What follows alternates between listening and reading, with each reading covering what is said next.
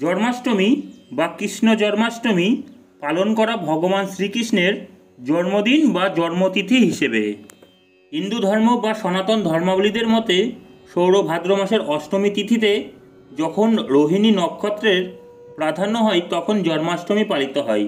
সনাতন বা হিন্দু ধর্ম অনুযায়ী দাপর যুগের শেষ ভাগে ভাদ্র মাসের কৃষ্ণপক্ষের অষ্টমী তিথিতে মথুরায় কংসের কারাগারে দেবকী ও বাসুদেবের অষ্টম সন্তান শ্রীকৃষ্ণ জন্মগ্রহণ করেন।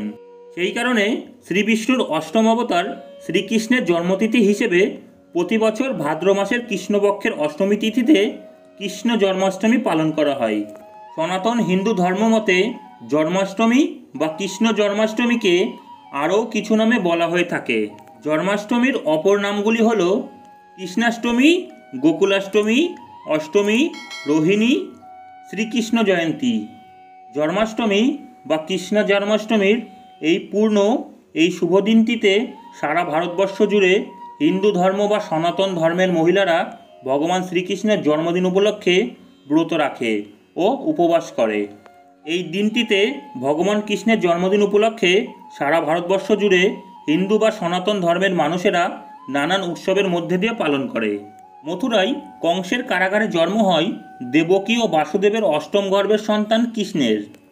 কংসের হাত থেকে তাকে রক্ষা করতে প্রচণ্ড ঝড় বৃষ্টির রাতে যমুনা পেরিয়ে বৃন্দাবনে যশোদা ও নন্দের সংসারে কৃষ্ণকে রেখে আসেন বাসুদেব।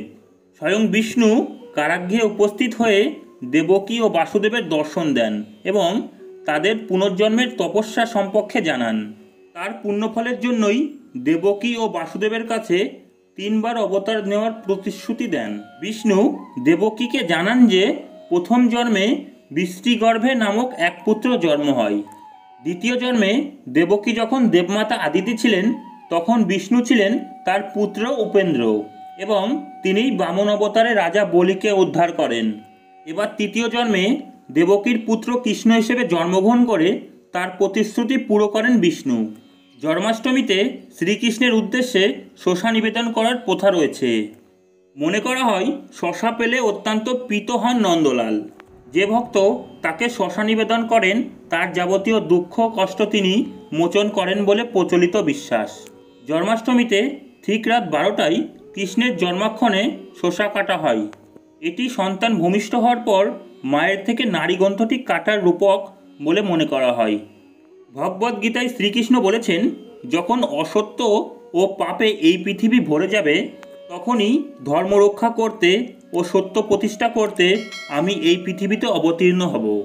জন্মাষ্টমী হল অশুভকে বিনাশ করে শুভ শক্তিকে প্রতিষ্ঠা করার উৎসব।